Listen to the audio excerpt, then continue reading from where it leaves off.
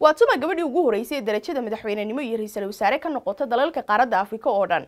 Taariikhdeedu maxay tahay? Waa tuma gabadhaasi se maxaynu sheekada taariikhdeeda u maqli weynay warbixintan ayaad kaga bogan doontaa iyo daawasho wanaagsan.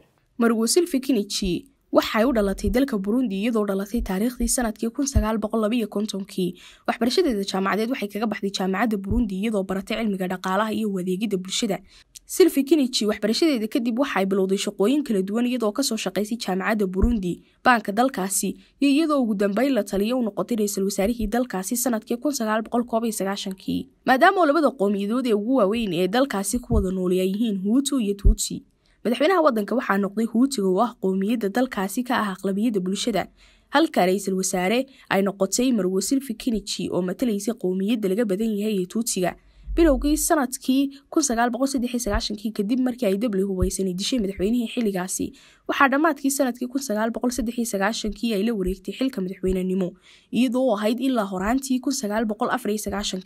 silfi kinici waxay lahayd qoys ka kooban nin iyo shan caruura kadib afgembi la isku dayay muddadii ay xilka hayse uu fashilmay. Sanadkii kii ayaa la qaarajiyay iyada iyo qaar ka mid ah golaheedii wasiirada halkaasoo ka bilaabmay dagaalka qowmiyadda huutuga iyo tuutsiga ugu dambeyntii dalka burundi wuxuu dhacaa bartamaha waddamada bariga afrika isagoo xuduud la leh waddamada tanzania ruwanda iyo congo.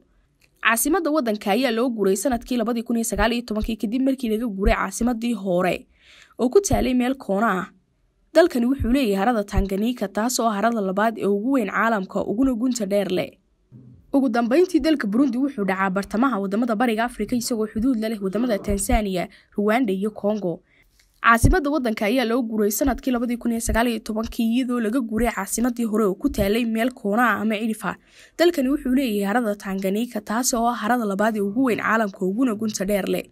Haddana wadankani waa wadanka ugu faqiirsan adduunyada halka ay dagaalo sokeeye ka dhacayeen sannadkii ilaa suuban maxamed jaamac bootaan sahan t v magaalada hargeysa